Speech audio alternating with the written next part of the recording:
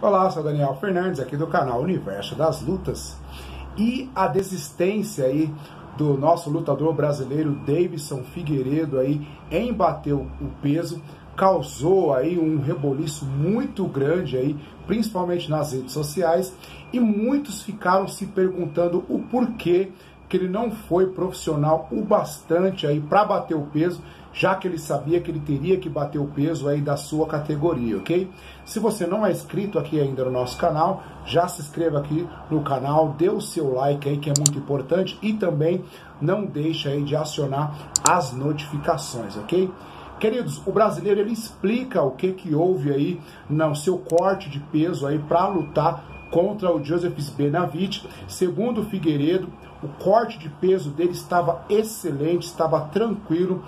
Quando ele foi para o UFC, para essa luta, já estava, ele já estava 5 quilos apenas aí acima do seu peso.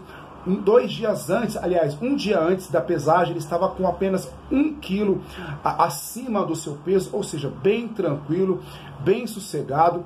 Porém, querido, quando ele estava cortando esse 1 quilo aí, infelizmente ele começa a passar mal, ele começa a ter náuseas, começa a ter tonturas.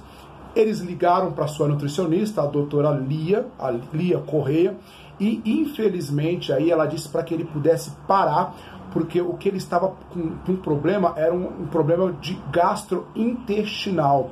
Segundo Valide aí, o seu empresário aí, estava excelente aí, foi uma pena ele estar aí com esse tipo de problema aí, porque ele queria arrasar, queria botar para quebrar.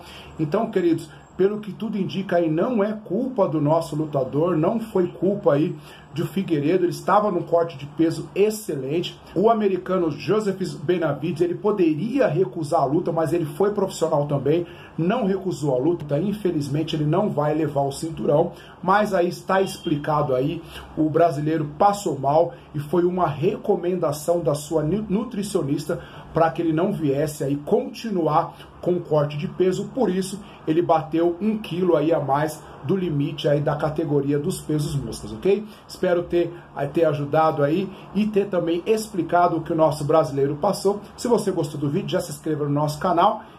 E esse foi o vídeo de hoje. Um grande abraço e fique com Deus.